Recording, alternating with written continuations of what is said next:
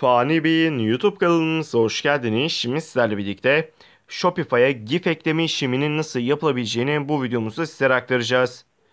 GIF eklemek için bir uygulamayı kullanarak bir tane oluşturuyorsunuz. Yani e, GIF'i öncelikle oluşturmanız gerekiyor. GIF oluşturun ardından ürün sayfasına gidiyorsunuz Shopify'da ve onu doğrudan ürüne ekleyin. GIF'ler müşteri etkileşimini ve Shopify mağazanızda geçiren süreyi önemli ölçüde arttırabilir. İnsanları çünkü dikkatini çekecektir bu GIF'ler.